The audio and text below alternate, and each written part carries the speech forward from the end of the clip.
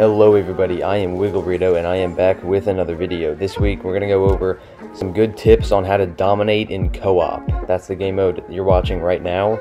And although this is with Palpatine, it's just some great Chain Lightning gameplay. I actually am getting my Grievous really close to max level. I'm approaching 800 at the moment. So I think I have the right for some validity.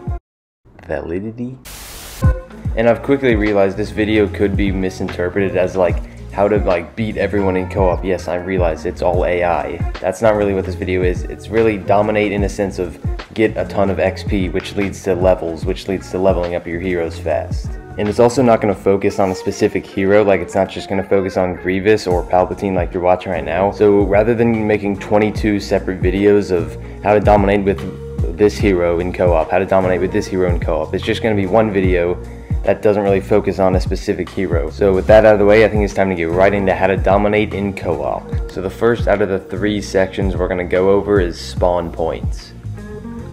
So what this one's about is, you guessed it, spawn points, but more specifically, how the spawn points work. So if you're unfamiliar, they don't just spawn continuously out of one hallway or like one spot on the map or behind this tree or whatever. So I'm on Jabba's Palace obviously right now, so this is the first spawn point on this objective, right up those stairs. So I'm going to clear all those guys out, and I know exactly where the next spawn point is.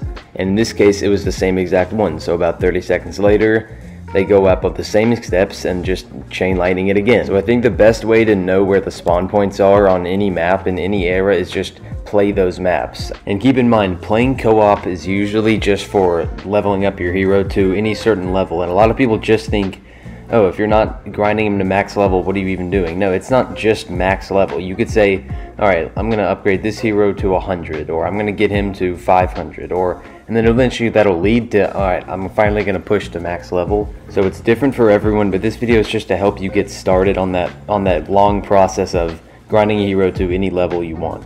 Alright, now moving on to the second segment. That segment is multi-kill abilities, and more specifically, whatever hero you're using. So this video isn't specifically on one hero, so it's just in general. So let's just say, like Palpatine you're watching right now, his multi-kill ability, you probably already guessed it, is Chain Lightning. So if you have the hero you want to try to get to a high level, next you want to say, alright, what ability is going to get me the most kills? Because obviously, more kills leads to more XP, which leads to more levels. So for example, if your hero is Vader, he actually has two abilities, Choke and Lightsaber Throw, but mainly Choke.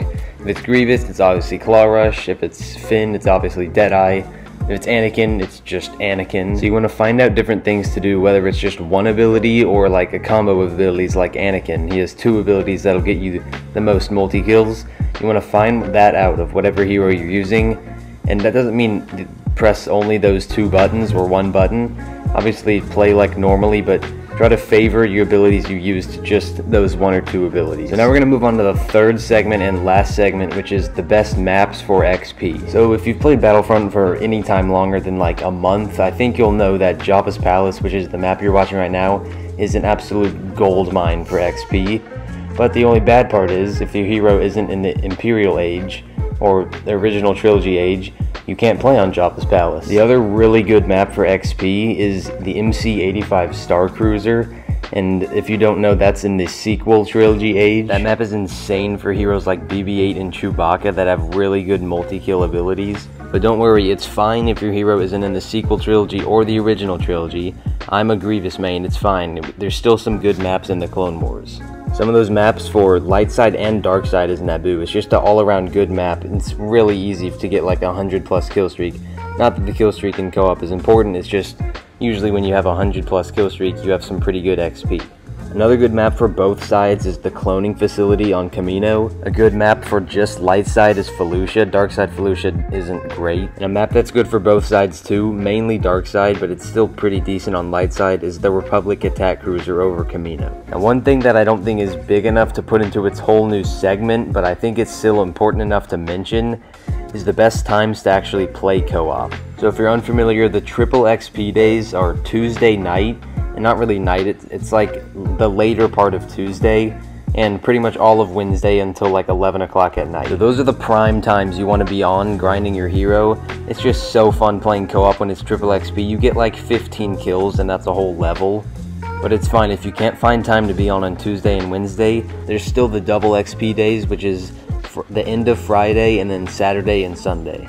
And if I'm being honest, you really don't want to even be playing anything other than Heroes vs. Villains and co-op on Friday because it's reinforcement event, and we all know how fun that is. So that is going to be it for the video. It's a little shorter one, but I don't think I need to drag this out to a 10 minute video. It's not that much stuff. So as always, if you have any questions about anything I said in the video, feel free to leave a comment. And if you did enjoy or learn something, Make sure to subscribe if you aren't already because it would help me out a lot and keeps me making these helpful videos for you guys. So I thank you guys so much for watching and as always I am Wiggle Burrito and I will see you guys in the next one.